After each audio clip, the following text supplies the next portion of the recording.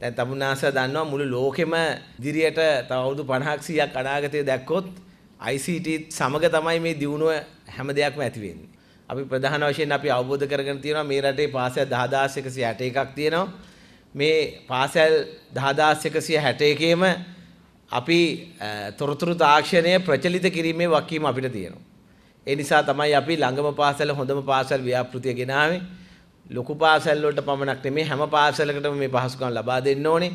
ICT ගුරුවරු බඳව ගන්න ඕනේ. ඔවුන්ට නිසි පුහුණුව දෙන්න ඕනේ. ඔවුන්ට නිසි යාවත් කාලින් කිරීම කරන්න ඕනේ. මෙවැනි විශාල වගකීමක් අපිට තියෙනවා.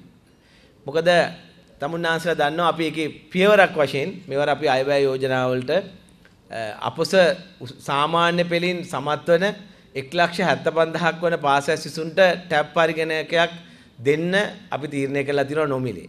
ගුරුවරු 28000කට පමණක් ටැබ් පරිගණක දෙන්න තීරණය කළා තියෙනවා. ඉතින් මේ සැරේ අපොස සාමාන්‍ය පෙළෙන් යන සෙට් එකට දෙනවා. ඊළඟට ඊළඟ අවුරුද්දෙත් දෙනවා. මොකද අපිට මේ නව ආරම්භය මං හිතන්නේ අපේ ලංකාවේ තොරතුරු තාක්ෂණය විතර නෙමෙයි රටේ අධ්‍යාපනයත් වෙනස් කිරීමක්. අධ්‍යාපනයේ විශාල පරිවර්තනයේ ලක් කිරීමක්. ඉතින් ඒ නිසා අපි දැන් ආරම්භ කරන්න ඕනේ. කවුරුද මේවට විවේචනය කරත්, කවුරු මේවට පහර දුන්නත් අපි පසුගාමීව යන්න බෑ.